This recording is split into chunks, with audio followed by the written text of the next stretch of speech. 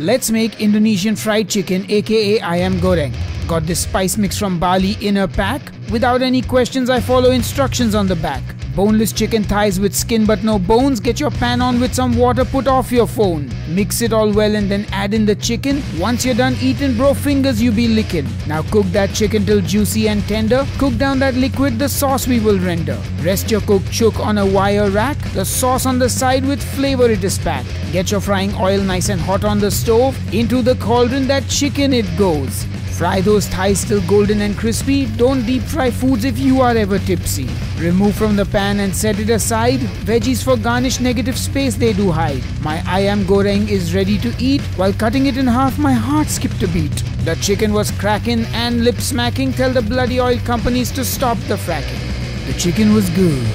Cheers and keep cooking.